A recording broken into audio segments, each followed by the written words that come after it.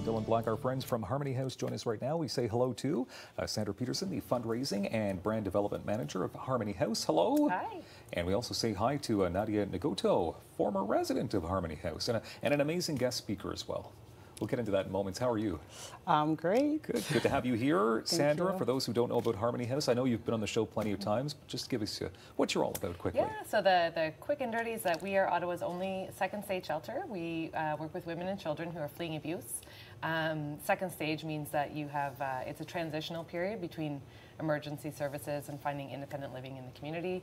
So you have your own apartment. Um, there's a lot of programs that we do to work with the women and children that stay with us to help them rebuild their lives and to live a life free of violence. Sounds like a pretty darn important place. It's pretty awesome, yep. okay, you had an awesome event that took place as well in February. We did, yeah. We were uh, lucky to come on here and promote it before. Um, the event surpassed our expectations this year in terms of uh, funding that we, we received, and I think a big part of it was because we had Nadia uh, as our guest speaker to tell her story and really connect with our guests and say like why Harmony House is so important, um, where the money goes.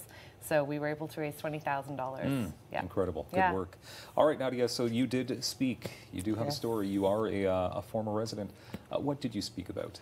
Um, I spoke about my experience uh, with violence, how I went from being a victim to a survivor, and how I did it, and the people that played part in it, like Harmony House, for example, the support and the knowledge they gave me to get to where I am today. So you inspired free. some people there. Yes, This I event. did. That's good. That's great.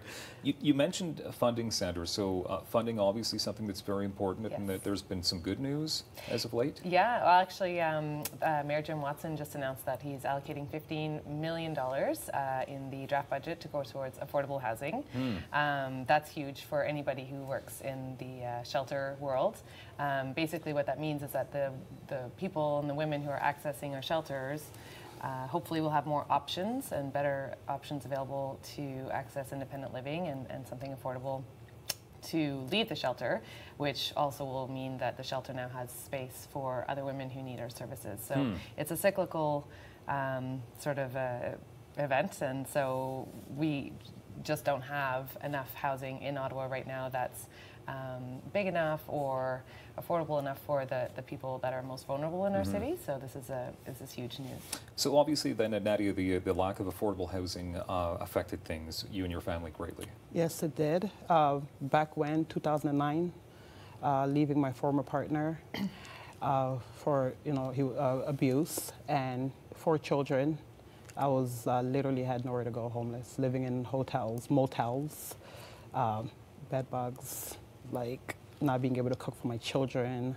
Um, it was it was horrible. I mean, until I got to Harmony House, and things were starting to look up. You feel more a sense of uh, freedom, a sense of um, an identity, even you feel like self worth. Because being homeless with children, you just, it makes the whole experience even worse. My I mean, on top of the abuse. Yeah. And then you have to deal with where am I going to lay my head? Where am I going to go? How clean is it? How safe is it? Lots to deal with. So, lots.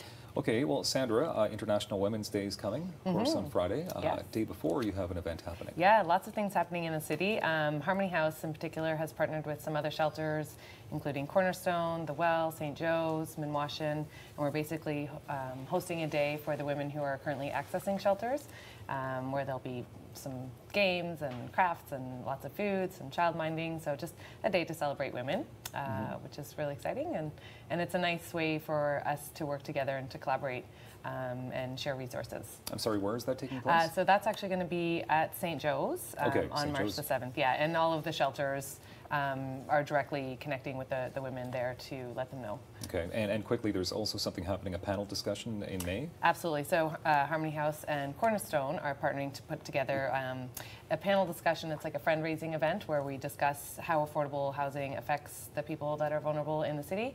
So we're going to have specialists from different shelters as well as uh, in the housing world and sector, including maybe even a builder. Um, so you can check our Facebook uh, and website for information and updates when we get all the details. And I know you're always looking for volunteers, you're Yes. looking for donations. HarmonyHouseWS.com for more details on how you can help out. Big way. Absolutely. Uh, thank you very much, Sandra and Nadia, for being here today. Thanks for having us. Doing great things Thank in our you. community. We appreciate your time anytime.